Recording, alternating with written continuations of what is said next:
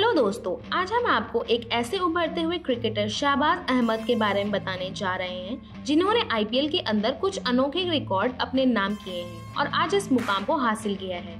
यदि आप शहबाज अहमद के फ़ैन हैं तो कृपया इस वीडियो को लाइक करें और वीडियो को अंत तक ज़रूर देखें। यदि आपने हमारे यूट्यूब चैनल को सब्सक्राइब नहीं किया है तो जल्दी ऐसी सब्सक्राइब करें फॉर मोर अपडेट बात करते हैं शहबाज अहमद के जन्म परिवार और शुरुआती शिक्षा के बारे में। शहबाज अहमद का जन्म 12 दिसंबर 1994 को मेवात, हरियाणा, भारत में हुआ।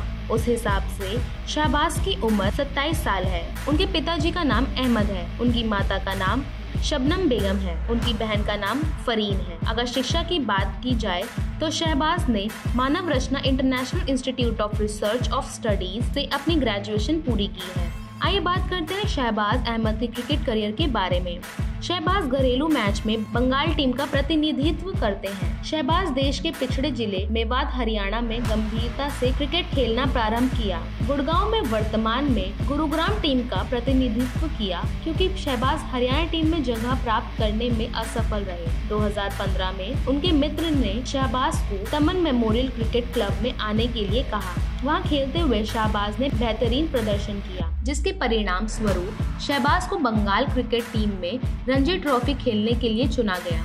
14 दिसंबर 2018 को शहबाज ने अपने पहले श्रेणी के लिए मैच खेला। उनके साथ ही उन्हें बंगाल टीम का दिल मानते हैं। इसके बाद शहबाज ने श्रेणी ए में टी मैच खेलना शुरू किया। 2019 में देवधर ट्रॉफी में इंडियन ए के लिए खेलने लगे। शहबाज के घरेलू मैच में अच्छे प्रदर्शन के चलते सुर्खियों में आए। 2020 में आईपीएल में खेलने के लिए विराट कोहली की अगुवाई टीम आरसीबी ने 20 लाख में खरीदा, लेकिन ज़्यादा खेलने का अवसर नहीं दिया गया और लगातार कठिन परिश्रम व कड़ी प्रैक्टिस के चलते आईपीएल 2021 में भी आरसीबी ने शहबाज को अपने पक्ष में चुनाव किया। दूसरे ही मैच में आरसीबी ने ओपनर की ओर से खेलने का मौका दिया, लेकिन शहबाज मात्र आठ गेंदों में सत्रह रन ही बना सके और कैच आउट हो गए। लेकिन शहबाज ने दूसरी पारी में गेंदबाजी करते हुए दो ओवर में मात्र छह रन देकर तीन विकेट झटके और सात बॉल डॉट निकाली। तीन दशमलव शून्य शून्य की औसत से रन खर्च किए और लगभग हारे की तरफ़ जा चुकी आरसीबी को वापस मैच में लाए और एक शानदार जीत दिलाई।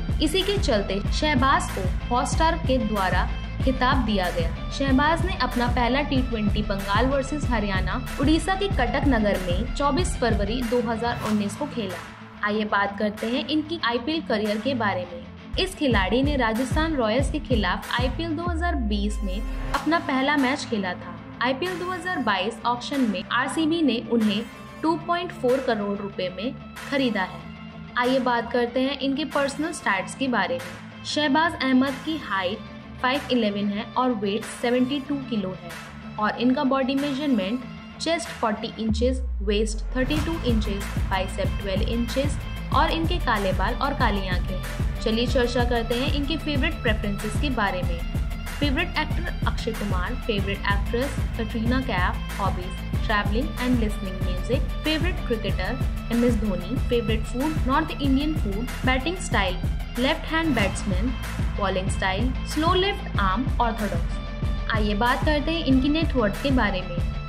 शहबाज अहमद की अनुमानित कमाई 2022 तक दो करोड़ है। चलिए बात करते हैं इनकी कार कलेक्शन के बारे में। वर्तमान में शहबाज अहमद के पास होंडाई क्रिएटा है। Known fact about Shahbaz Ahmed. क्या शहबाज अहमद धूम्रपान करते हैं? नहीं। क्या वह शराब पीते हैं? नहीं।